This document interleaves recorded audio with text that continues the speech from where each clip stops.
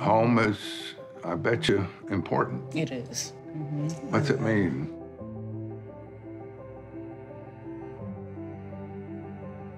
Our home is so special that we've had people knock on the door, strangers, and we were able to direct them where they needed to go. Um, one of my mother's friends, um, the mother had Alzheimer's. She walked from the east side of Los Angeles all the way to our door at two in the morning, knocked on the door, and my mom was able to realize that that was her friend's mother. So it, it's just a special amazing. place. It's just It's a amazing. special place. You got a backyard. In my backyard, I have birds that come in and pick up around in the ground, and I have a bird feeder, and I watch the birds as they f- eating. I just love my backyard, Yeah. you know. And I go out in the evening uh, when it's a beautiful day. I go and sit out in the sun. That's where I would be today if I was at home. I'm sorry. That's where I'd be today, too.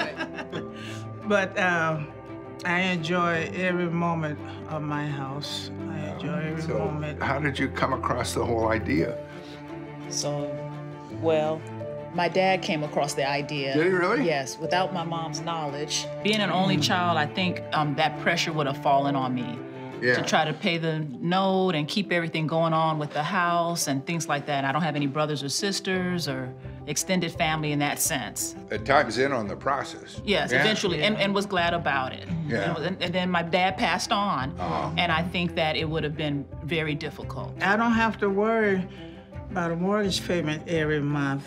Uh, it keeps your mind at ease, uh, keep it refreshed, and there's no pressure. So he was thinking about you. Yes, he, was. was. He loved us.